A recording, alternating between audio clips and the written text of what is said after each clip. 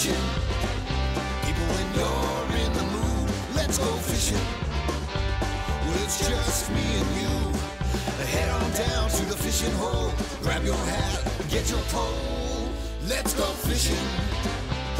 When you're in the mood. Canadian Sport Fishing is brought to you in part by Rapala, premium fishing gear crafted from experience. Yamaha, conquer outdoors. Dickies, quality workwear since 1922. Blue Cam, a cleaner running engine for a cleaner environment.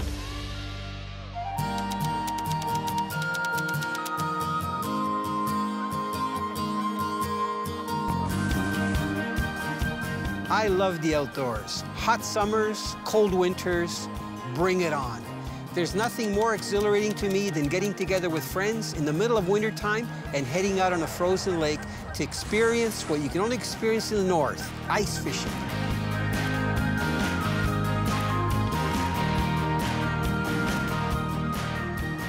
You know, when it comes to fishing for whitefish, especially jigging, finesse is really important. So what James and I are doing, we're actually jigging right on the bottom, shaking it like I am doing right now. And then every once in a while, we're making a longer stroke. And that longer stroke is to track the fish. If there's any whitefish in the area that are moving through, we're actually attracting them. But when they come close, if we see them on the sonar, then we'll just shake it on the bottom.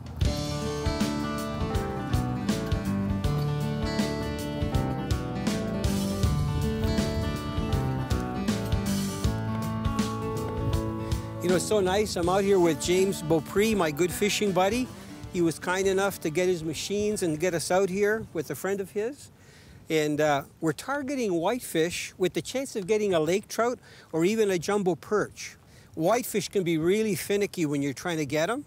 They're either on and feeding or, you know, you can get frustrated because you'll see them on the sonar and you just won't be able to get them. You can see we're using these light outfits. It's kind of nice to use a spinning outfit. I threw my gloves off, but I'll tell you what, it's cold today. The ice is about a foot and a half thick, and I'm slowly trying to inch them. Okay, nice whitefish. I'm trying to get them up. Look at it. Isn't that a gorgeous fish? You know, this is the second fish that came in. The first one didn't hit, and I was using the jig. So what I did was change up to this Fin-S Fish. I'm gonna hold him up. Isn't that a gorgeous whitefish? And I'm gonna get him back in the water. There he goes.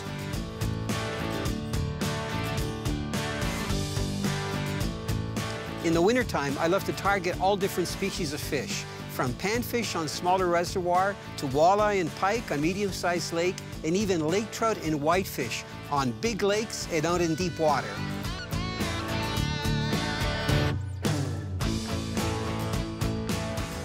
You know, over the years in fishing different places through the ice, I've used all kinds of augers, from very small, four-inch diameter manual augers to big ones.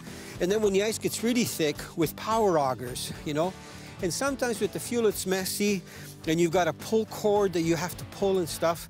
I gotta tell you, I'm so excited about these new generation of electric augers. This particular one is a lithium powered one. This one is 40 volts. First of all, you can see it's really compact. And look at, there's the battery right here. You see this block right here? Was that nice? I'm just teasing you. It cuts like it's going through butter. I'm not putting any pressure on it. I'll do that again. Pull the trigger, hit the power button.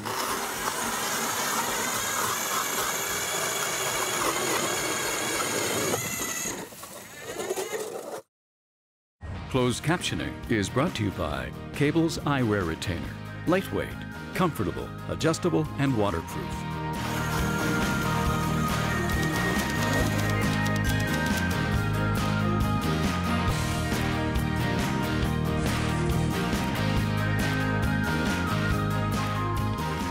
Today I'm fishing with a good friend, James Beaupre. James likes to fish all year long, and in fact, he may fish more than I do. I think every week he's fishing about three days a week. In the summertime, he uses a bass boat. In the wintertime, he has machines like ATVs and uh, portable huts, and sometimes he'll head up to six miles on frozen lakes in search of some of his favorite fish. I love to fish with James because there's never a dull moment.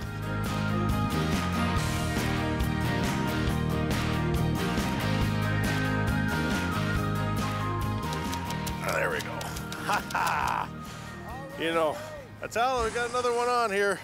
You know, I've got fond memories of when we were getting the lake trout.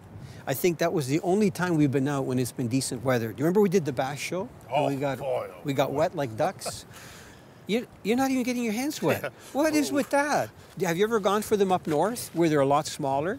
Oh, like Lake St. Joe and all those lakes? Yeah, they're, they're smaller. They're like a pound and a half, you know, to three pounds. Gorgeous colors. Beautiful.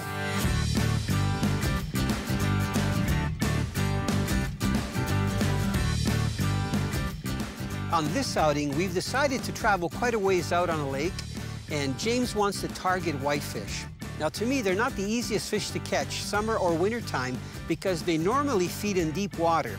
But James is on a pattern where the whitefish are coming up to very large shoals in the open lake and feeding anywhere from 20 to about 40 feet in depth.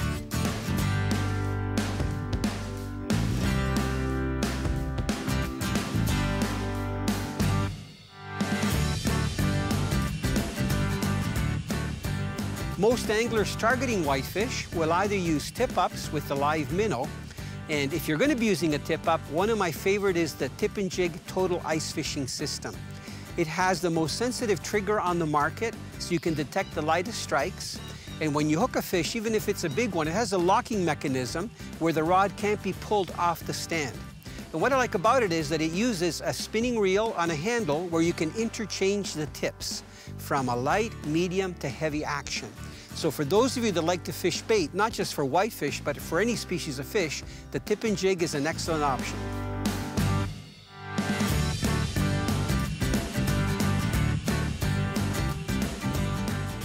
The one thing that I really appreciate on the handle of the actual tip and jig is that it's got like these, uh, see the little grooves right there? So when I'm using mitts like I am now, because that wind is really cold and I was scooping the ice out of my hole so my hands got wet, it's got those little uh, indentations, which is ideal even with a mitt to actually hold. If they weren't there, if uh, you got a good fish on, the rod could slip out of your hands. And the other thing that's really nice is those interchangeable tips. Right now I'm using the light action tip because we're going with light line in this finesse presentation. So really the tip and jig system, even though we've got the tip ups set up behind me, is perfect for jigging like this. Very sensitive, and when you get a fish on, no problem fighting it.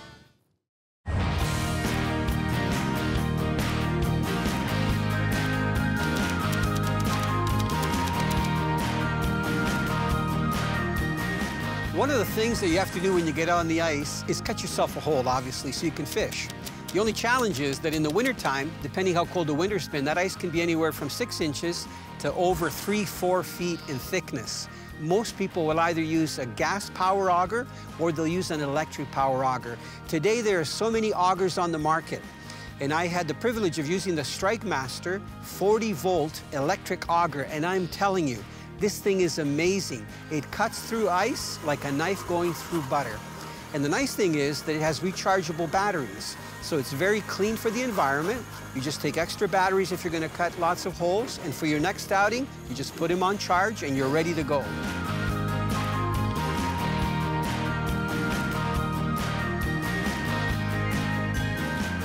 This is amazing, you know.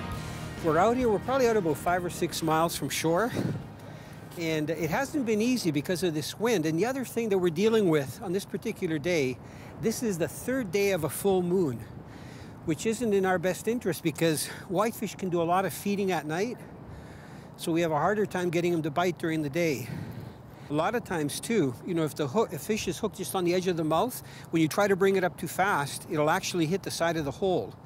Come on, can I pull him up? I'm gonna, I'm gonna use James' technique. Look, I'm gonna slide him up. Look it. I bet you when they're down there feeding near the bottom, because of that dark back and that silvery, like gold sides, they're almost invisible to their prey. Look it. You can see how that mouth is. It's not that big, but they can open it pretty wide. And when it closes, you can see it actually is on the bottom part of the fish, so they can go right along the bottom. And I haven't had this guy out of the water too long. He's actually being really good. He's being like a TV prop. Look at this beautiful specimen. He's going to be released. Now, because the hole is pretty long, I'm going to kind of launch it. So you better watch quick. There he goes. And he should be gone, right down to the bottom. Now, I'm amazed, you know, I've used Fin-S Fish for probably, I'm going to say almost 40 years. This is such a simple lure, but you can see how flexible that plastic is, and you can see the profile that it looks just like a minnow.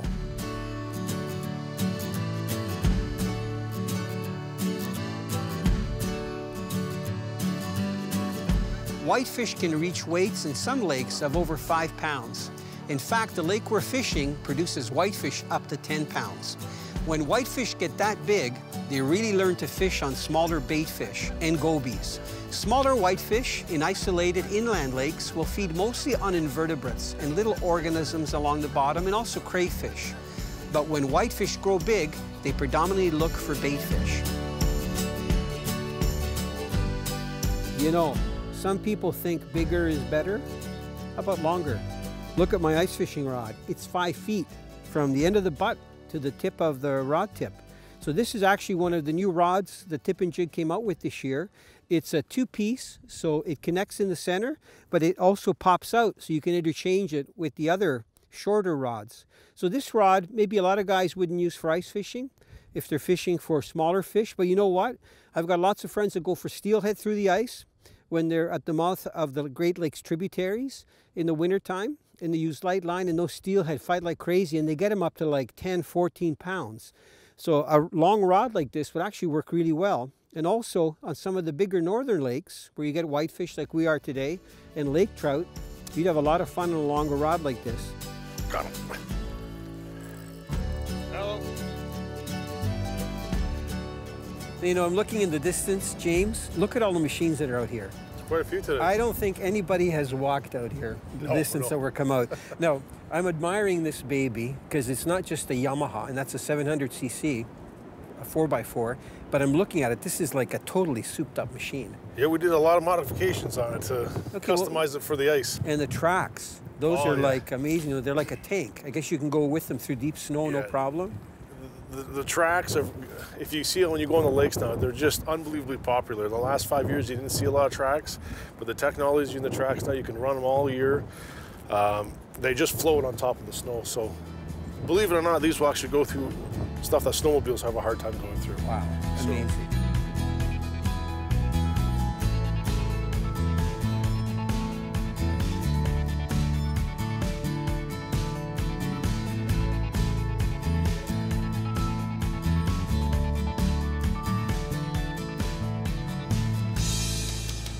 Tapping that MIGS on the bottom just ever so gently.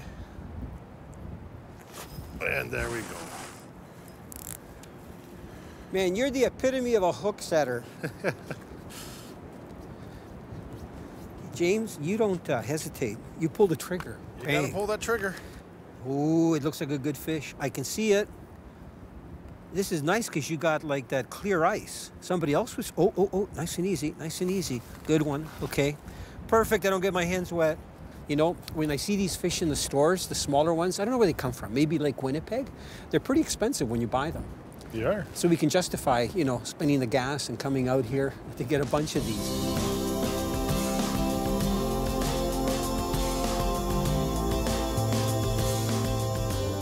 Smaller whitefish will feed on a lot of smaller organisms, especially invertebrates and small uh, copepods and things that are in the water, you know, freshwater shrimp and so on. But when whitefish are bigger, they go for bait fish. And the ones that we're going after today are anywhere from three to five pounds and even bigger. So if you're going to use a lure that imitates bait fish, the Fin-S Fish is one of the best ones from Lunker City. These are three of my favorite color. This is the shad color, and you can see that they're rigged with the Fin-S Fish head which helps them to plane from side to side. This is the, I think it's called the Arkansas shad. You can see it's got kind of a brown color, especially that side. You can see in the sunlight how beautiful that looks. And then uh, this one is that, uh, look at flake with the red and purple. It's got really all iridescent colors in there. So one of the main reasons why these work so well is their body profile. You see, they're pretty thin. If I hold it up, it's not a really wide body bait, and also it's very limp. See if I shake it. So you can imagine when this thing is falling and going from side to side, even though it doesn't have a paddle tail, it really looks lifelike. And literally, what I do is lift it up to track the fish, but when it's on the bottom, I just shake it back and forth to give that kind of action. And usually, with the whitefish, when it's laying down on its side, that's when the whitefish will go for it and they'll inhale it in the front half of the body. And usually, that gets the hook in their mouth. So, this is a great lure to use in open water for walleye, bass, pike, all those different fish, but also ice fishing, especially for whitefish.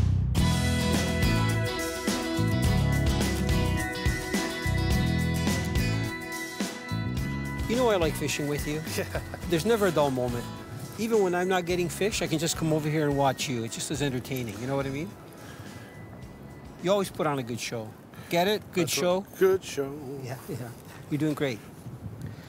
You should be a little quieter, though. You know what I mean? See You're, you're just trying oh, to it's a whitefish. Yeah, yeah. Nice fish. You watch that treble hook.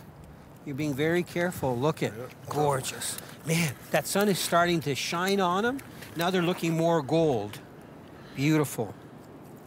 Did you mark them before you hook them? Absolutely. Did you mark any other ones? Because we just got here. We just got here. Yeah, what we're doing, just so you know, James, this is our third move. So you really have to have a machine. Look at how gorgeous. That, that is like picture perfect. You got to have a machine to move around down here because I think when we're moving, it's like a half a mile or more from spot to spot. How do you know when to move? Because no more fish we marking. You're being honest. I thought you were going to say, well, Italo, I look at the sun and I look at the trees and I just know when we've got to well, I can make up a story if you like. yeah, yeah. No, that's great. That's an awesome fish. So, Ty, you think this is a fish for the pan? Well, I got a question for you. Do you think we're going to get more before we hope go in? I hope so. You know what? We're going to release him. Okay. Yeah, yeah. You can go ahead. He fought so well.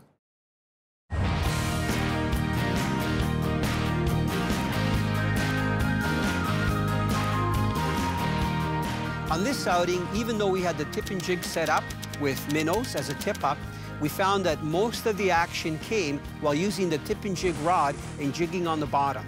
I have a feeling it's because the whitefish weren't really looking to feed, but because we were manipulating the jig on the bottom, we were getting them to strike, and they were hitting very lightly. The one thing that I like about the tip and jig system is that I was able to go down to the light action rod, and I even played around with the five foot long rod that you can use if you're open water fishing with the tip up or even through the ice where you want to get a little bit of distance between your hole or where your sonar is. And if you're fish for fish that fight hard like trout or steelhead through the ice, the long rod gives you a lot more torque if you're using light line. So the tip and jig is versatile because you can use it as a tip up or for jigging and you'll catch lots of fish.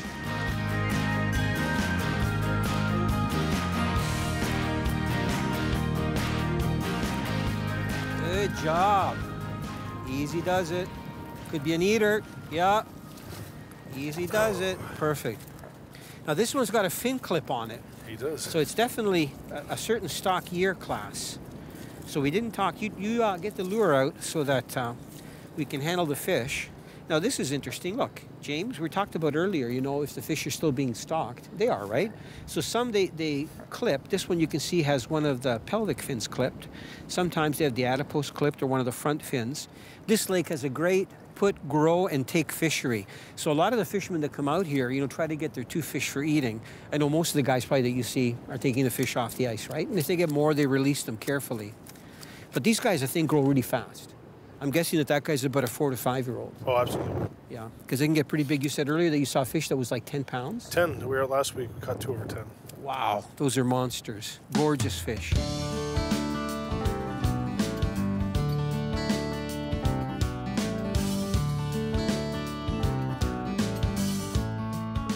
Whitefish are bottom feeding fish. And one really important detail when you're fishing for them is to fish between one to two feet of the bottom. I like to fish for them right on the bottom, whether I'm using live bait or I'm jigging. If you're going to be jigging with a vertical jigging spoon or a jigging lure or a blade bait, you don't need really big jigs. Maybe every once in a while to attract a fish that's off in the distance. But when you think there's a fish close to you or you see one on your ice sonar, just make very short shaking action on the bottom.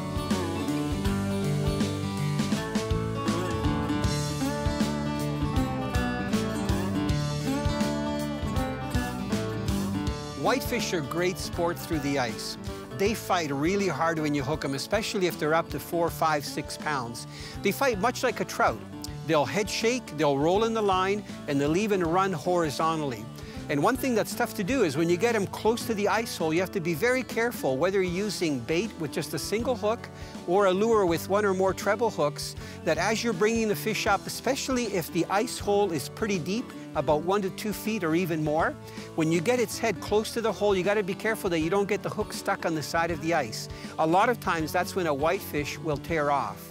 Whitefish have very soft mouths and they don't have any contours. So once you hook one, the hook will stay in there, but you gotta be gentle and have your drag set right.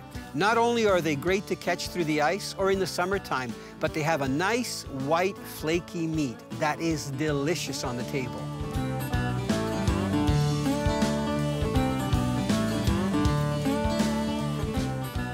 A lot of times when you're fishing for whitefish in shallower water, less than 50 feet, you don't need to use a big lure. You don't necessarily need to use a lure that has rattles. This is called a slab rap and it doesn't have any rattles. When I shake it, you don't hear anything. So it's literally a blade bait, but it's got a body to it, plastic body. So when you lower it down, it sinks pretty quick, but as soon as you start twitching it, it has a really nice side to side flashing action. And it's normal to hit the bottom with it. You can literally jig as if it was a jig. So this lure works really well for large panfish through the ice, especially jumbo perch. Uh, lake trout will whack this thing, but especially for whitefish. Now, a lure that's a little bit longer and bigger, but the same type of configuration. This is a lightning rap. It's made by Storm. And I'll hold it here so I don't put shadow over it. You can see how iridescent the colors are. Here, let me hold it like that. If I move it, see all those different colors?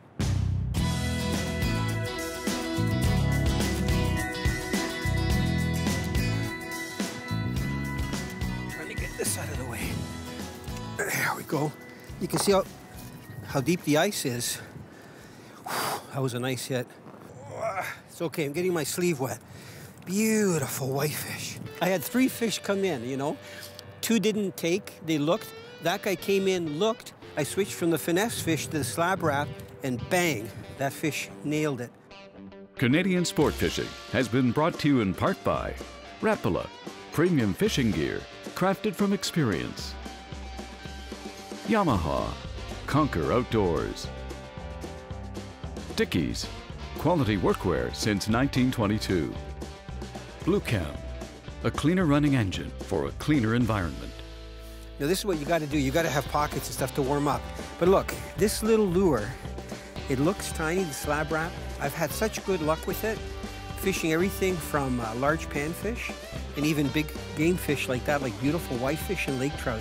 It's tiny. You know, you look at it, it looks like an ultralight lure, but for this kind of fishing, it's perfect. Okay, 20 minutes, and then I'll be back in action. I think I'm just going to ponder things. Yes. Warm up.